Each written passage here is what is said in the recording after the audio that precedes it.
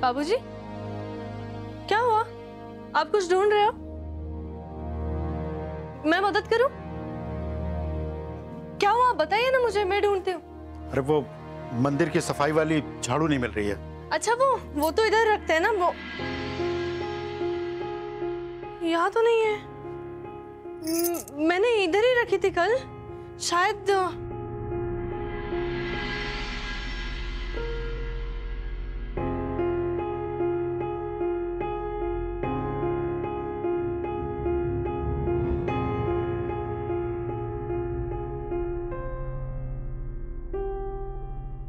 हमने कहा था ना? मंदिर की साफ़ सफ़ाई की ज़िम्मेदारी हमारी है।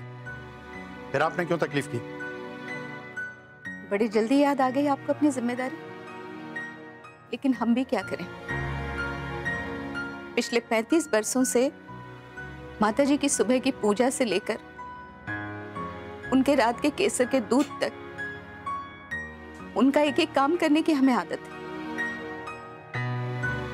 तो आप बताइए हम अपनी आदत का क्या करें? और इस दिल का क्या करें? जो मानता नहीं कि हमारे होते हुए आप काम करें।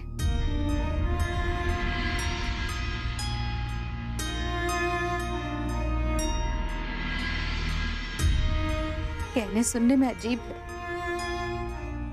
लेकिन सच यही है। दिमाग में भले सौ उलझने चल रही हूँ। लेकिन ये दिल बार बार अपने फ़र्ज़ का एहसास कराता रहता है। कि धड़कता ज़रूर सीने में है। लेकिन इसमें इसमें दर्द उन्हीं के लिए होता है जो आपके अपने हो।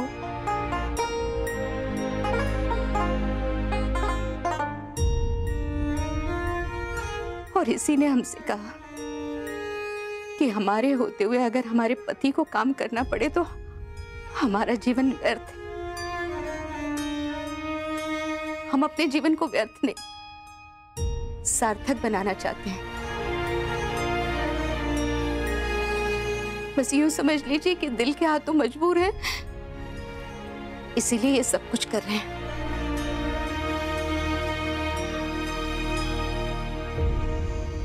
अम्मा जी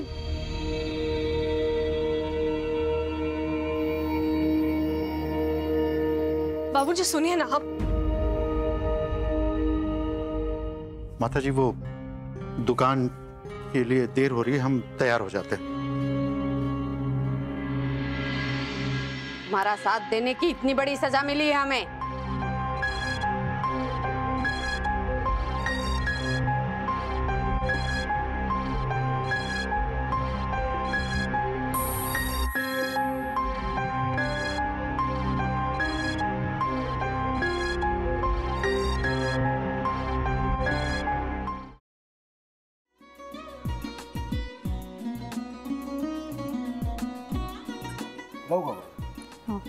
असाच लावू ना?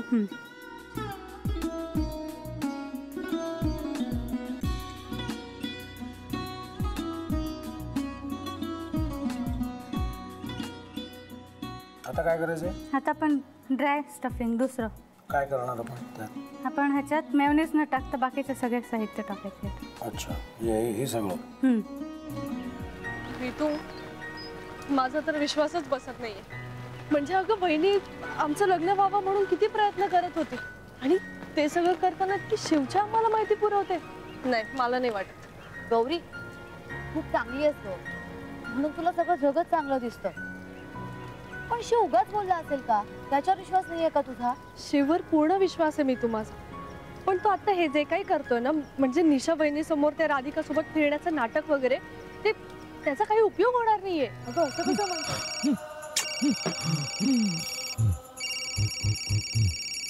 अगं निलिमा जतीन भाईंचा कॉल आहे हो माहितीये रिसीव कर ना अगं बघ कट झाला। आता तू रिसीव केला नाहीस म्हणून ते मला करतील। अब पुन्हा आला बघ। घे बघू। पण हे एक ना एक दिवस घडणारच होतं. आता मला कळलं. तुम्ही दोन दिवस झाले काय सांगत होता ते? बनू हे संकेत असतात आणि हे ठरवून येत नसतात.